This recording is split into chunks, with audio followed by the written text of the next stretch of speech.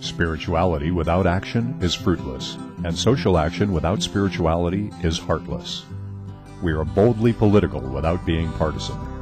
Having a partisan free place to stand liberates the religious patriot to see clearly, speak courageously, and act daringly.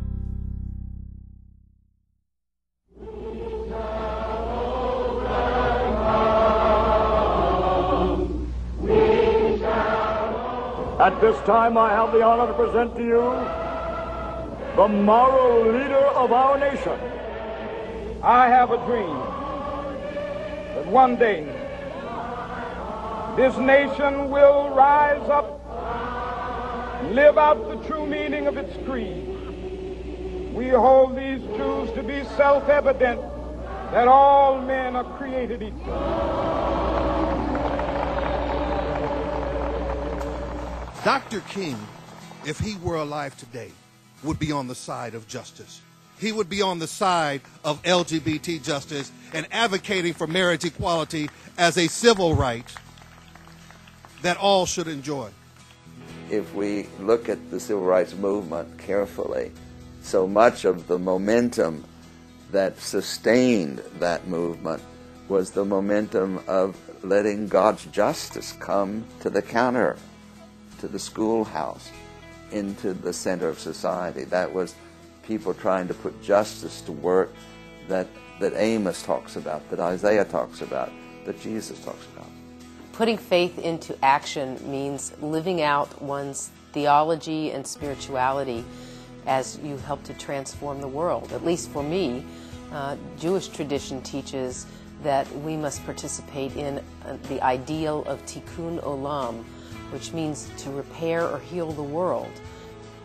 Those of us in the Abrahamic faiths, in, in Christianity, Islam, and Judaism, we have a prophetic tradition which says, uh, and I'll quote, I'll quote Hebrew scripture, Micah 6 8, What does the Lord require of you?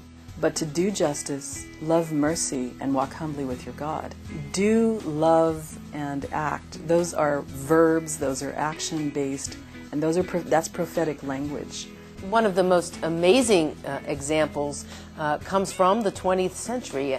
Rabbi Abraham Joshua Heschel was one of uh, the great uh, contemporary theologians of the late 20th century. He marched with Dr. Martin Luther King and was one of the first rabbis to do so.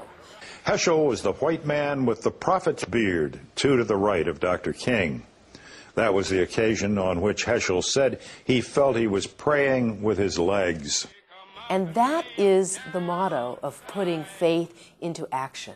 That it's not just about book learning, it's not just about theology, it's about taking action and being part of a movement of transformation. I said, when do we want it?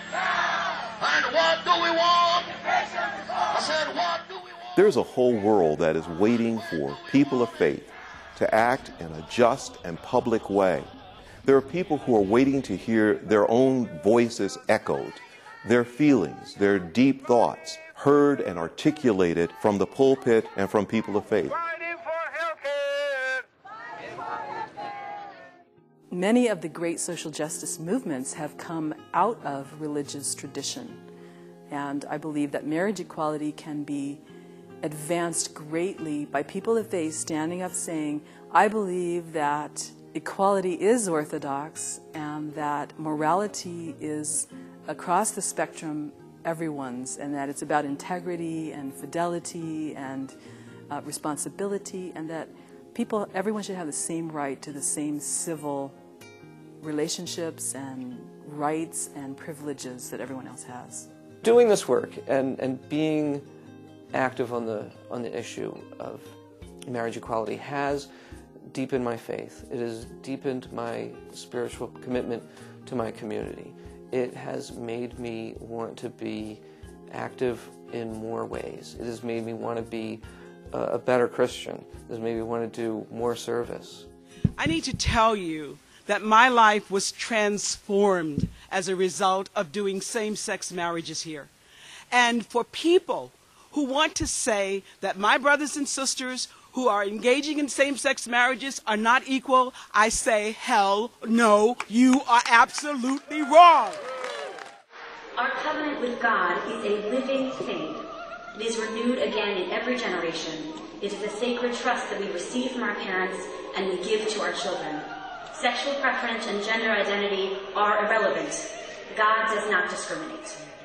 When clergy step up and say, I am here on, you know, stand with my brothers and sisters, with my friends and neighbors, when I stand with the human family for equality because I believe that God has called us all to that, because I believe that equality is a part of God's will for everyone. That is very, very powerful. Clergy shrinking back away from equality for all is a devastating blow to equality. I began to take my role as a pastor more seriously uh, when a parishioner came to me after service one Sunday morning and said at the door, Pastor, that was a very nice sermon today, but I don't need a nice sermon. And if you're only going to preach nice sermons, I will go to another church because I need to be challenged. I need a pastor who's going to challenge me to be more socially active, a person who connects the front pages of the newspaper with the social gospel. He said, if you can't do that, I'll find a pastor who can. So I was pushed by a parishioner to move out of the safety and sanctity and serenity of the sanctuary into the streets and to begin from the pulpit, but also to take the stories in the Bible and apply them to everyday life. My daughter's best friend at school, that little girl has two moms. And during Prop 8, my daughter said to me, I'm worried about Bella's family. And that's the kind of empathy that I want my children to have. I want them to be thinking about the impact of all these political abstractions swirling around us. We have to remember that they impact individual people's lives. The point of my activism is to bring Christ's love into the public sphere, to bring the values of empathy and compassion and responsibility for each other, to bring that front and center, both in my personal life and in, our, in my public life. And I want them to be able to model that themselves.